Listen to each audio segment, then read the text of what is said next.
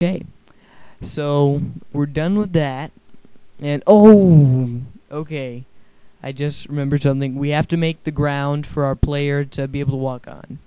Okay, so create a sprite for, well, it's like for everything that you're basically gonna do. So anyway, create a sprite, name it ground, or well, I guess you can name whatever you want to name it. I just am naming it ground, and you can leave it. Your, well, if you're gonna color the whole block you can leave it transparent. Um, which I am. So I'm gonna do make a black outline here. And by the way, this is just really simple. I'm not trying to do anything fancy. So anyway, yeah, I'm just gonna make this one little block. There we go. We have a ground and make an object called you guessed it, ground. Well, hope you guessed it. Alright, anyway, if you didn't guess it, uh, we're all winners. Okay, choose ground, and the only thing you have to do is put solid. Just click this right here, the check mark. So, well, so the Oh, check mark also, comes up, and click If you are solid. working in Alright, GameMaker so Lite, okay, uh, which is the free All right, now we're back uh, here. demo version. okay. Now we want to do um, collision to, to in the event editor, new event, is, um, collision with ground. you open up GameMaker, you go to File. All right. So this is again very So, yeah. easy. What we want to do is we want to go to, uh, it's in move by the way. We want to go to move to contact. In direction, just type in on your keyboard, excuse me, direction. And the maximum equals 12, and against solid objects. And that's all. That's all for that. Alright, so, yeah. Well, not all for the whole thing, but all for. Okay, never mind. I'm just moving on. All right.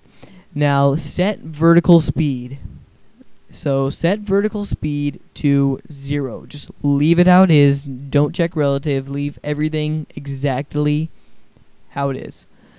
All right. And the um, there's only three more things we have to do.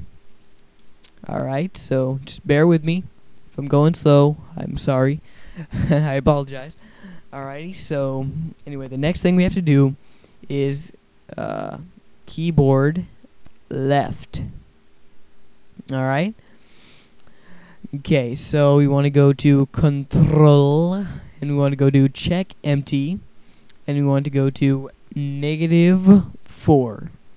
Okay, and then leave this, everything else how it is, except for the only thing is check relative. Alright.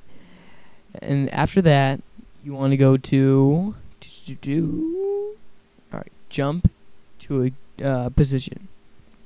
Okay, and for that, it's negative four, zero relative. That's all. And the last thing is sprite, uh, change sprite.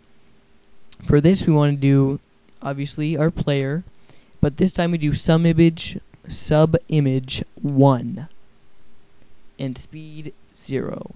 This will change it to the second image on our sprite, which is the one going, well, obviously left. Okay, so that's what that is. Alright, and that is all you do for the keyboard left event. And now we do another event, which is um, keyboard right, which you guys probably already know. I'm just just blurting it out here. All right, so want to do um, check empty. Uh, this thing. All right, and we want to do for the x, the x equals four, and leave everything how it is, but just check relative. Okay, so there we go. And then jump to a given position, which is all right. Here it is, which equals four and then well x equals 4 y equals 0 and then check relative. Okay. And then the last thing is change sprite. So obviously player and then sub 0 which would be the first image in our player sprite. And then speed 0 okay. Alrighty and then so now we go to a key press for a new event and so key press up All right, now we're starting, uh, starting jumping. Uh, just telling you.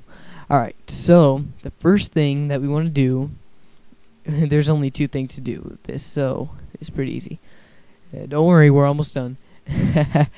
All right, so anyway, we want to do um, object ground x equals 0, y equals 1. Check relative. And then we want to, the next thing we want to do is set vertical speed to negative 9. And don't check relative, click OK. Leave everything else the same. And um, that's it. That is all we do.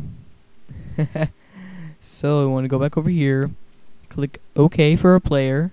Now we want to make a room. So click this little uh, mirror thing next to the create object.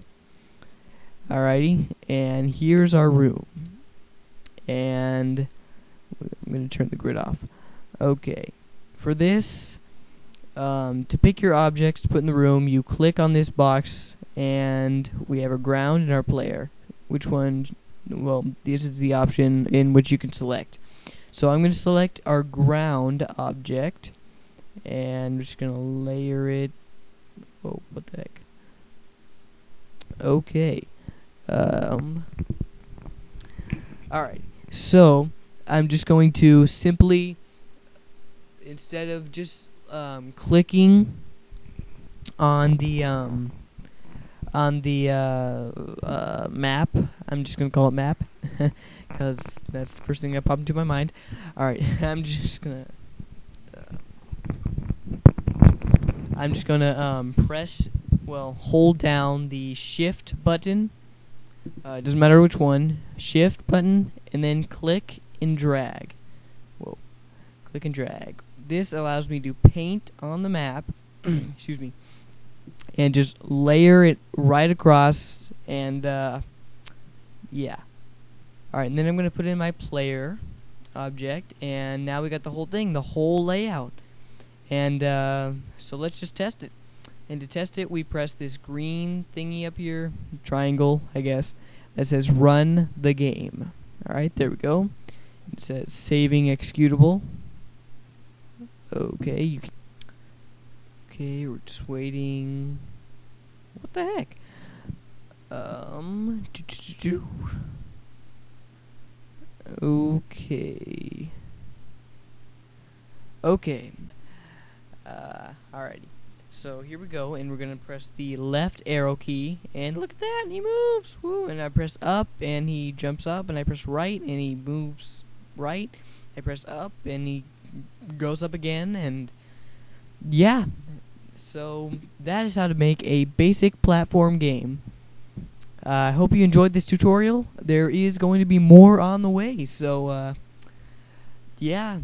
And I guess feel free to subscribe, but I'm not forcing you because personally it doesn't really matter to me. But you know, do whatever, and uh, yeah, I will see you later.